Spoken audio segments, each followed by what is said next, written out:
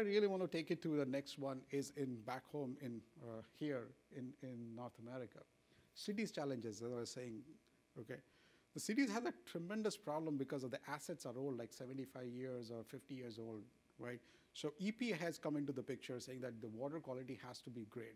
I mean, there's a certain standard which has been laid. Because of that and the lead contents in the water, there's something called consent decree has been there. So it's an agreement between state, city, or municipalities with the EPA. And they said that over the course of the time, you have to upgrade your infrastructure. Very important. Why? the you know the water quality has to be good your citizen has to be healthy and most important thing is if there is any uh, uh, any penalty for that it is two times the penalty it's not just you know pay the penalty and move on and also most important thing in our political environment the mayors and the commissioners are really on the edge to ensure that that question never comes in especially the flint incident what is what has happened there so people are very conscious about it so consent decree is really driving. It's over 50 big cities has been asked to support that. And what happens is each uh, fine, so consent decree is basically uh, the wastewater and the freshwater pipes are all together, right? So obviously you were not expecting the freshwater, which is we are drinking, to get uh, come along with the wastewater, right? Which is, so the, the EPA said you need to have separate networks for that. So each spill, in, in their terminology, they call it a spill, is each spill is costing the city uh, depends upon what the consent decree, but on, on average about a quarter million dollar. So they are trying to save that money which is there in the form of, you know, the fines, how they can do better. Uh, proactive maintenance, obviously that is helping them to get more uh, uh value of that. Same problems, sparse data and regulatory spill reporting, very important for, especially as I was talking about the 50 cities of North America. And most important thing, how do we, you know, take the technology component of it and make it very user friendly? And uh, so, just to give you an, an, idea, when we started working with the city, uh, they didn't have any information. In fact, let me put it this way: they had lots of data. Trust me. So they had an Excel sheet. You talk about everything is there. Okay. What we did is over. We took all the data and made sense of that. That was the first step really simplified, made reports, or for that matter, you know, on visual in the map form. The second thing what we did is using our experience and the client's expectations, we created a model on top of it. Now, we capture the historical data, we capture the, the flow meters which are installed all over the manholes, and the weather data, we bring it all together and make predictions that this particular place you're going to have a spill. So before the spill happens, the crew member is already there. It's a huge asset for them and situation like what we had uh, right now in Sacramento and other in you know, California. If we had the technology, I'm sure there will be a lot of anxiety being taken away. So the city really does a very good job of telling the residents of that particular area that there's likely to be a spill. So we are working and you know trying to be more proactive. So citizens are very happy about it, which is great. I'll move to a demo and I'll just show it to you what we have built for, for Thames Water, just to give an idea, you know, uh, how we are really simplified the whole process. So if you see, this system is a live system which is being used by Thames Water. And Thames, just to give an idea, which you saw the, from the, uh, uh, some history about it, they started this journey of analytics about four years back. And they have matured so much that this has been replicated across uh, multiple European uh, state cities. Like just to give you an example, Turkish uh, government is leveraging, is planning to leverage. The city of Rome is planning to leverage it. So there's a huge, what should adaptation of this one because there's a value to it, right? So on on just to again, as I said, visualization is hugely important. The blue colors are the water, which is the fresh water on the left-hand side, and this is on the, uh, the uh, what we call it as, as the wastewater side. What I'm planning to show, what I'm trying to show you is, is the life system. Now it looks very complex, by the way. Think about it. This really looks complex. This has been built as, and this system is been, or this screen is on Operation Center.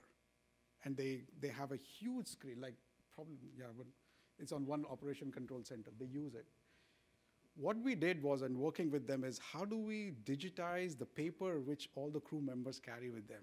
Huge important because people on the field, are very, just to be, you know, are very hesitant to use the technology. So how do we empower the people to use this? So this is mobile centric. So the crew members can actually see it there. And as you can see, right now things are working fine. So on the this one on the top uh, left, you can see all the alerts, and I'll show it to a different screen that there are certain alerts which are happening. So what is this doing? Actually, you can see all the water flowing in there, all the pump stations and everything in the city of London. Okay.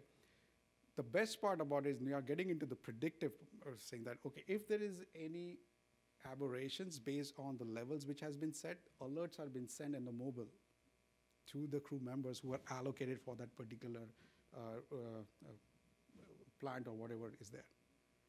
So now we are historical data, real-time data. Now we're getting into more into AI part of data there. So I'll just show it to you where right now. Uh, so simplified.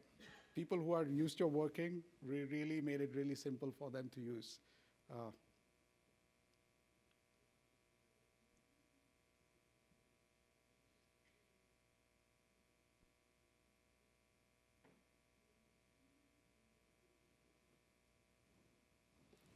So as you can see, something is I mean, blinking right now.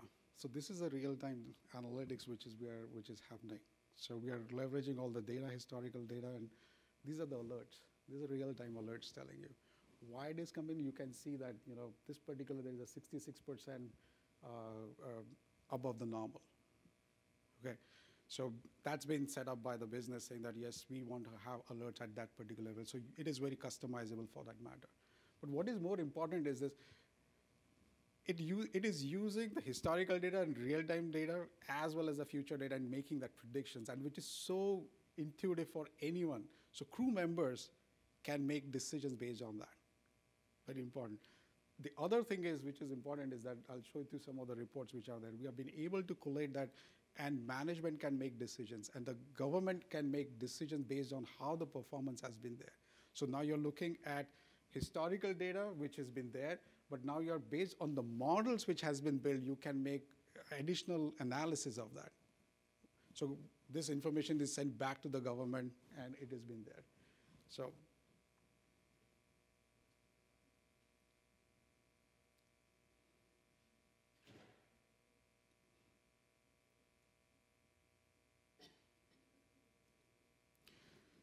The other thing which, I, which is very powerful is what we have done is from a technology perspective, we're really demystified. So uh, what we found when we work with certain clients is they say, we want X software because that's been leveraged across the organization. We said, that's okay. We are not going to come back and say, okay, use XYZ technology. Whatever is available and use the cloud technology to make your business decision, which is much cheaper. So what you're seeing right now is, is, is the Again, this is a real-time system which is working in.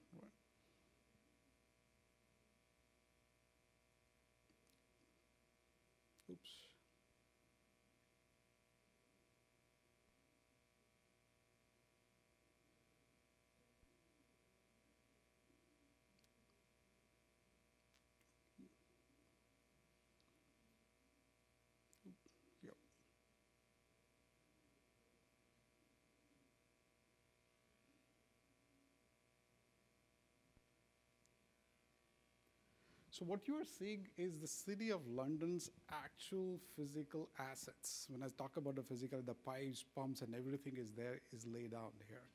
Now, there are colors which is depicting based on what the business is looking for. But the most important part is that at any point of time, you get the real-time information at, for each of them.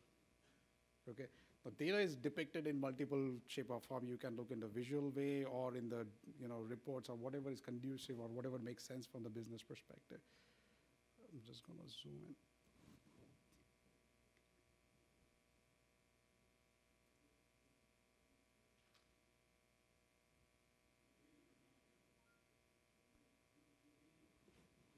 So the data, this is the graph which is there, which will be coming as you can see it. So at one single click, I can see everything. You know, so this data is actually making predictions in the previous, you know, uh, uh, the screen what I showed it to you guys. So again, taking technology off from the whole concept is what the business is trying to accomplish. So, and uh, one thing which I want to show you here too. So on the left-hand side, as you can see, there are, you know, based on your user preference, whatever you want to see, uh, it can be done, uh, it can be picked up. So, so in addition to that, what we have done is correlated all the work orders. So let me give a scenario what happens in a water industry, okay? So the plants are, are actually treating water, okay? And the, you're getting the water from the reservoir, the plants are treating it, then it comes to the water distribution to our, our house as a consumer. From consumer, it goes back as a waste to the waste treatment plant. So there's a separate water, uh, wastewater network which is there, then it goes to the you know treatment plants. So that's a typical cycle of that. What we have done, or with working with this uh, with the client with Thames, is we have also connected with the work order. So the system, so there's a separate system which generates the work order. So we are able to integrate that work order information. So a, before a situation or before a burst happens, the work order has already been issued. Okay, so the once the work order has already been issued, the crew members are already being sent. So now it's all your you know predictions, data, and everything is coming into the picture. So before the burst happens or you know you're trying to be uh, uh, agnostic of what the situation is going to be there and you're making a business decision to ensure the customer service is on the top priority so Thames is using one of the city in, in, in uh, North America is using it. There are multiple cities in, in within you know North America who are really interested to see that leveraging the data to make good business decisions. So this is just a sample. It's a very exhaustive tool which has been built in, and there are reports around, as you can see on the top of that. So uh, this is very important for, for the plant operators. So they can see how much of chemicals is using, and they can plan based on that. So. Uh,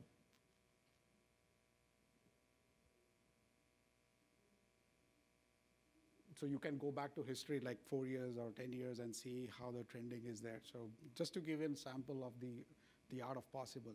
So coming back to you know the first slide of three thing, three uh, uh, my pillars, what I call it as, you have the regulators, you have the operators and the customers. The technology, the big data analytics has the ability to bring it all together in a really intuitive fashion. It's no more uh, what I call it as demystifying technology for that. I'll pause it for I just want to talk about it. Any questions, I'm happy to answer, both from a industry, technology perspective too. So, sure. Do you see this industry going down the same path as electricity and having intelligent or smart meters at each house?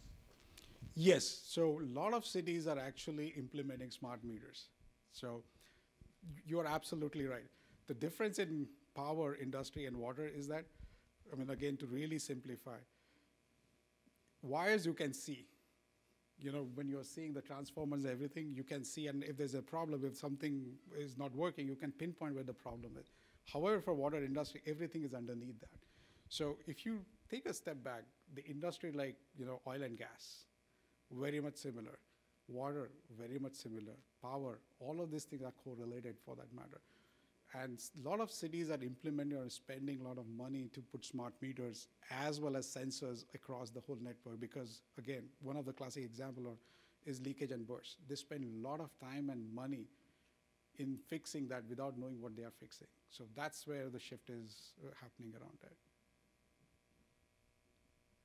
Can you tell us what uh, the effort, the resources, and timelines for a project like the one in London that would take? London is very exhaustive. Just to give you an example, is they, they had a journey for five years. And it was not just the technology aspect. They were trying to transform their business also, right? So um, the parties, like, because it's a private entity, they had the longer duration for that. So it took about them uh, three and a half years to build this system, okay? But they started reaping the benefit in, for, in six months itself because they went in a very modular approach saying that I want to focus on X, then Y. Like wastewater was very important for them. So they're really focused on that because they were uh, uh, putting a lot of money in capital invest, uh, capital improvement plans, right? So they made a business decision, and this really helped them to make say, if I'm going to be spending a billion dollar to upgrade my system, now you are making business decision based on the data, right? So that was huge. So over the course of the time, they really uh, return, they got the return on investment much quicker than what they have planned. So short answer is yes, it is. It took them longer, but now with the technology, and again going back four years back, there were technology. Amazon was just coming, and people were not so much, uh, you know, and the other software technology was not so uh, matured enough. But now it has become much more, uh, much more matured.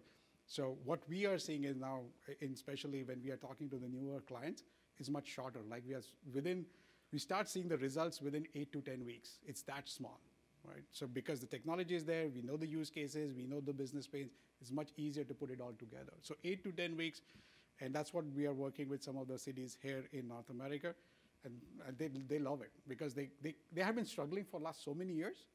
It's their ability to look at the information and data in a much more intuitive fashion within three months or, or 90 days is huge for them.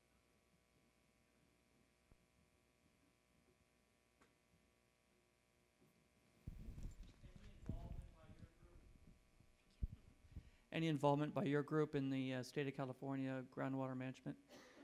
Yes, so uh, I'm working on the with the DWR, uh, and I've been also we, we participated in Open Data Challenge.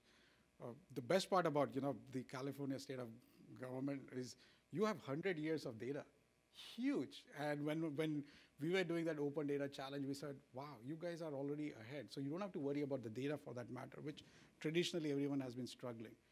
And so we are, the way Accenture is looking at is, is not, uh, is the how do we improvise the performance and the citizens to give that information back in that meaningful fashion. So uh, Department of Conservation, we are working with, we, we are working with Depart DWR for that matter, because this is a technology which can be embraced by everyone, and there's a uh, more value towards that. So, great. Uh, Thank you. Thanks a lot. Really appreciate it. And I hope you enjoyed the session. Any questions, please feel free to ask. Uh, my card is here, and more than happy to provide information about it. So, thank you. Appreciate it.